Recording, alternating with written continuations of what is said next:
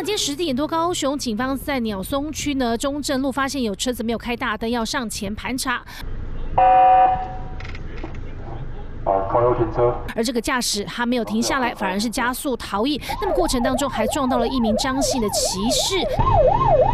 最后呢是一路狂飙躲警察，最后是撞上了仓库的大门才停下来。带你看一下状况。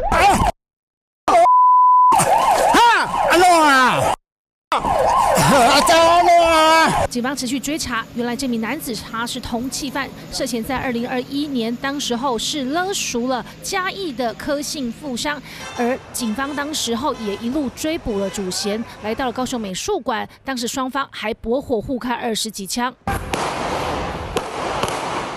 那么主嫌呢，当场呢是遭警方给击毙，而共犯就是这一名张姓的男子，他是被判刑了四年四个月，但之后却是逃亡。而就在昨天晚上呢，是在高雄仁武区开车，没有开大灯，被警方给锁定，撞上了骑士之后，自己又撞上仓库才停下来。那么除了要被依交通法规被开罚以及照逃之外，先前被判的四年七个月也要一起入监服刑。